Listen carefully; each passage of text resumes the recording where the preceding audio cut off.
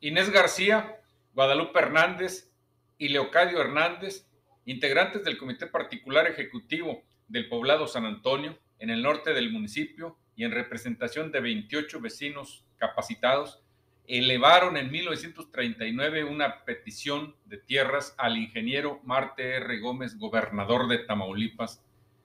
Las propiedades que pretendían fueran expropiadas pertenecían a Antonio López de Rivera y a Felipe Lozano, con domicilio en Tampico y Monterrey, respectivamente. La resolución presidencial la obtuvieron el 18 de septiembre de 1940